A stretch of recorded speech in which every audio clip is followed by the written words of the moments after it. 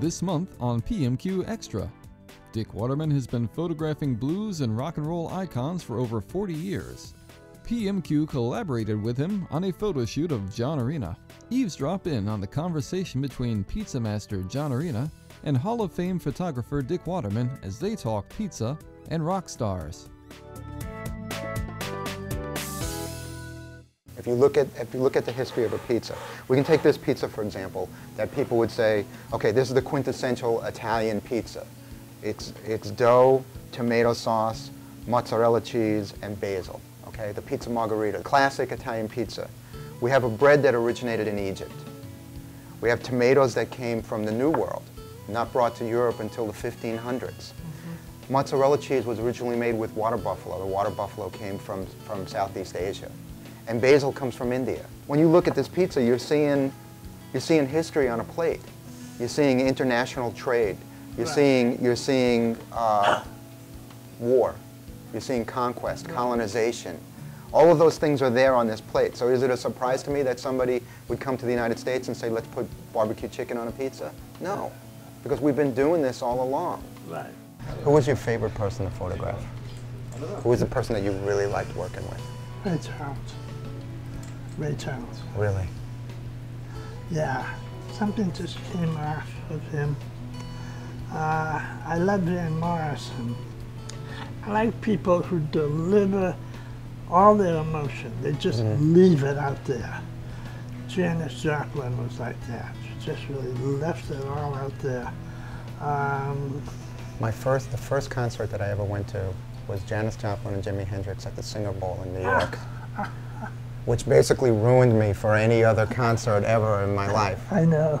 Yeah. I hear people talking now, like, you know, and especially I live in Las Vegas, so people will be like, I paid $200 to see Celine Dion. And I was like, really? I, I paid $3.75 to see Jimi Hendrix and Janis Joplin, Really. you know? You see, Hendrix was the most curious musician that I ever knew. He wanted to know how, what you did, how you did it. He had a curiosity. And he was a fabulous collaborator. He loved to play with other musicians. Hendrix was the most creative and innovative bass player. Because he, Really? played, he played the rhythm instrument with a melodic guitarist's mind. So he didn't just play thump thump bass. He played bass like a guitarist. Uh-huh. And he was an incredibly creative bass player. But he was a wonderful collaborator, and I often ponder Hendrix collaborating with this person or that person. And I see in my imagination Hendrix with Bob Marley uh-huh. great collaboration, or Hendrix with Miles Davis, whatever. Uh-huh. He had the collaborator's attitude of subordinating himself to make the other person better, stronger, be a better lead.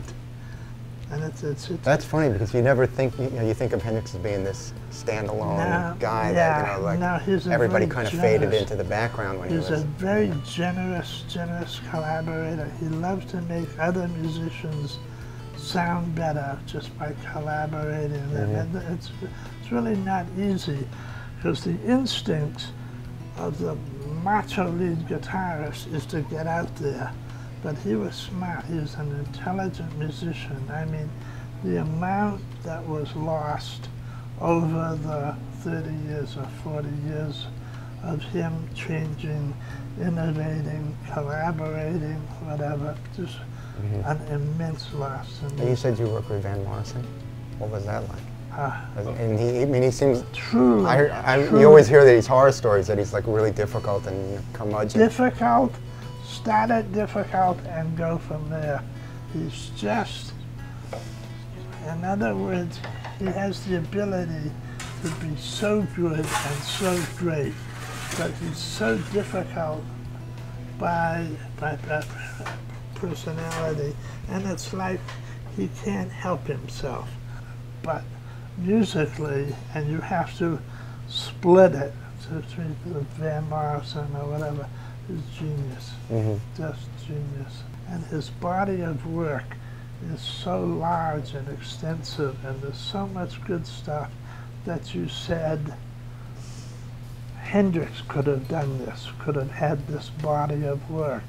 And then you step back and you realize how great the loss of Hendrix was. I, I've enjoyed this. I Thank really you so have. much. Thanks for watching PMQ Extra. Visit us online at pmq.com. Follow us on social media.